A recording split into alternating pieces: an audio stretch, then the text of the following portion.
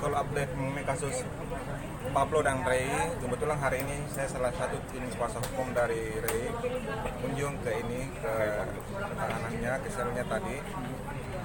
Dan kami beberapa berbincang-bincang dengan dalam berbagai hal, termasuk masalah kerinduannya sama anaknya, gitu, keinginannya apa buat bisa bisa lebih baik lagi, dan termasuk masalah materi penyidikan kalau seumpamanya ini naik di persidangan gitu. Jadi kami banyak membahas berbagai hal.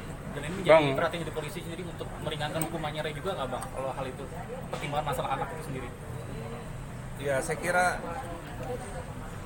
implementasi dari penegakan HAM itu sendiri dalam proses penyidikan ya termasuk itu. Di saat dia pertama kan dia wanita kemudian ada anak ada keluarga. Jadi sisi manusianya pasti ditimbang juga. Dan kami sebagai tim lawyer berusaha karena kerja penyidikan begitu super cepatnya di awal-awal kami juga minta kalau pun mau dilimpah ya tolong dilimpah cepat ini. Kan udah 20 hari udah hampir 20 hari kan? Iya. jangan sampai diperpanjang jadi 40 hari lagi gitu. Nah kalau proses awal bisa cepat kenapa proses akhir nggak bisa cepat gitu?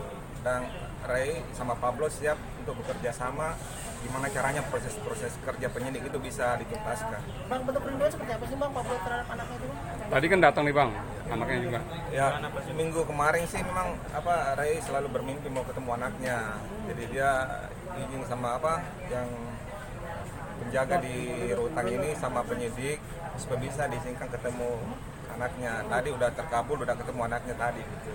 Jadi dia kalau Ray pengen sekali dia keluar untuk bisa minimal dia bisa tahanan rumah atau tahanan kota gitu. Bisa Ren nangis tadi anaknya. Ren tadi nangis bang ketemu anaknya. Iya sama ibunya menangis, foto anaknya juga ada cerita tadi ya gitu. Jadi memang dia kangen sekali sama anaknya. Makanya kami diminta kerja-kerja lawyernya itu bagaimana bisa proses penangguhan peralihan status tahanan itu bisa ditindaklanjuti. Sampai sejauh ini peluangnya seperti apa bang? Nah, saya kira kalau dilihat dari materi kasusnya, saya ini kan sebenarnya masalah personal antara Gali dan Fairuz. Tiba-tiba uh, viral di ini di media sosial.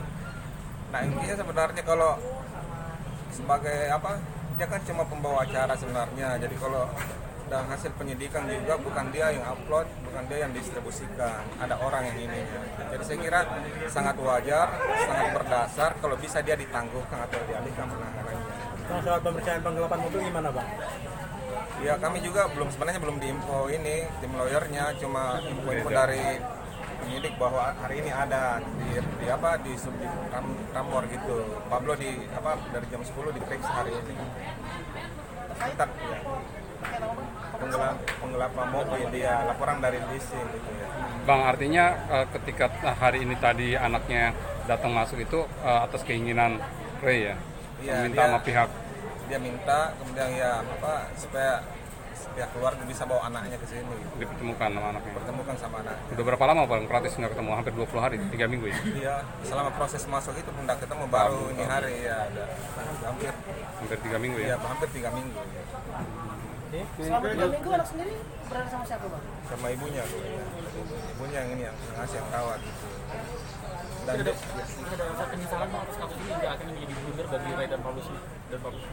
Nggak sekira ya kalau menyesal dia juga menyesal bahwa awalnya kan ini apa ya apa sema- semacam canda-candaan di ini di media sosial ya dia dia punya vlog gitu. Tiba-tiba bisa berakibat dia dia ada risiko pidana yang dia terima gitu dan dia memang sangat menyesal juga bisa terjadi gitu.